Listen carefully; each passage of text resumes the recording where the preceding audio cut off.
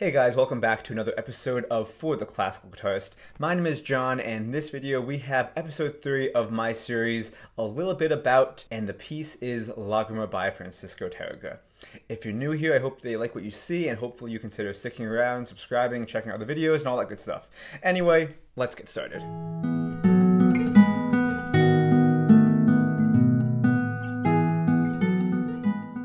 So if this is your first time watching one of these videos, I want to just go ahead and say right off the bat that in this video I'm not going to talk about how to play the piece, rather talk about the history of the piece and just some of my thoughts about it.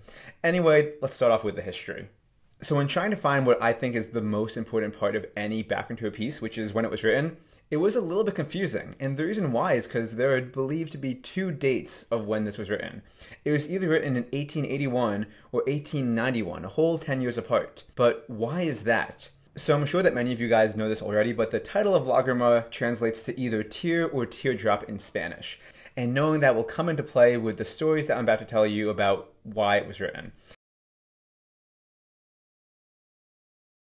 So story number one takes place in 1881 when Tárrega was in London. And he was there because he was doing concerts and tours and all that stuff all around Europe. But when he was in London, he was there for a little while and he really started to miss his homeland, which is where he was inspired to write this piece that made him sad but also happy. We'll get more into the musical elements of the piece later, but you can definitely see how the sad and happy play into a feeling of missing your homeland but also being happy of where you're at currently. What is the matter, my show? Do you miss home? Your family, perhaps? It was then that they advised him to capture that moment of sadness in his music. Thus, he conceived the theme of one of his most memorable works, Lagrima. So, story number two also takes place in London, except this one is a little bit more sad.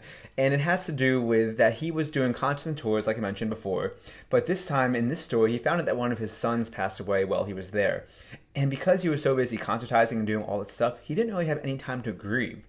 And it's said that one night he just walked out on stage and just improvised this piece while trying to process all of his feelings of grief. So, story number three, I'm not entirely sure of the date. It very well might have been a little bit after the 1881 experience, but it was when he was on tour in Mallorca doing concerts. Maybe it was part of the same tour as the London tour, but again, we don't know. At least I don't know. Anyway, it's said that he heard his daughter pass away while he was doing a concert in Mallorca, and this is what he did to kind of express his grief of feelings of not being able to be there for her. And finally, story number four, which seems to be more or less tied with the first story on what seems to be the most common belief of when this piece and why this piece was written.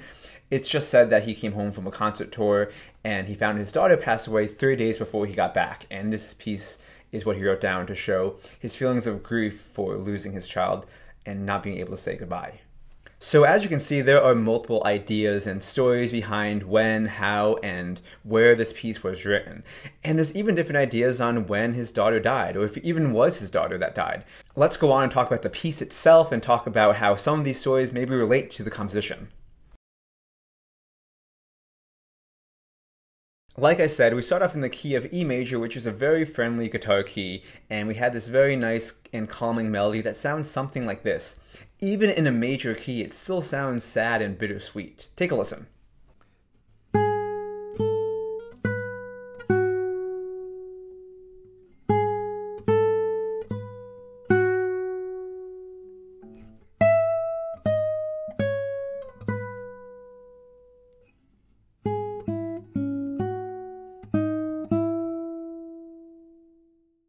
Once the major section is completed, we move on over to the B section, which, like I said, is in the parallel minor. So now we are in E minor, and we have a minor melody that sounds something like this.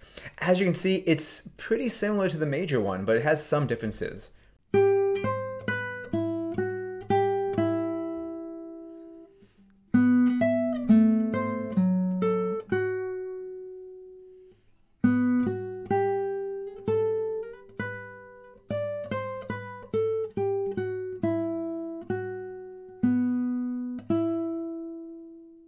And finally, after we hear that twice, we go back to the A section to close us off.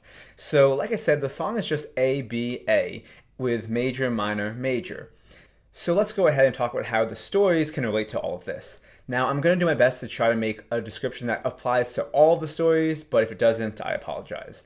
So, I believe the major section is kind of just showing us the innocence and kind of the naiveness and happiness of the outlook on just the situation he's at. Very happy, but also kind of bittersweet because he doesn't really know how to feel just yet. Once we move on over to the minor section, things are starting to get a little bit more dissonant. You have chords that are moving more frequently than they would, and maybe even implying harmonies that aren't even that common of the time. I believe that this shows whatever story you're thinking of, his anger and just kind of his overall real grieving process of what is happening to him, whether he's missing home, whether he's grieving the loss of a child, or a combination of the two. Finally, once the minor section is done, we move back on over to the major section for one more time, which to me just shows his final overall positive outlook on things still, as if there's still an ever so slight glimmer of hope for things to come. So overall, the reason why I think this piece was so successful and so many people like to play it as well as listen to it is just because of how simple it is. There's a lot to say when something is only 16 bars like this song is, and so many parts of it stick out. It has an easy to remember melody, and to play it's not all that difficult, so it's a piece that many beginners can hear and they get inspired to want to play. Anyway, that's all for this video. If you guys are new here and you liked what you saw in this video, go ahead and give it a thumbs up down below. Leave a comment, let me know your favorite part, what story you guys believe or don't believe. And if you want to check out more videos of mine, considering subscribing to the channel, ringing the bell, checking out a few more videos up here, and all that good stuff. Thanks for watching.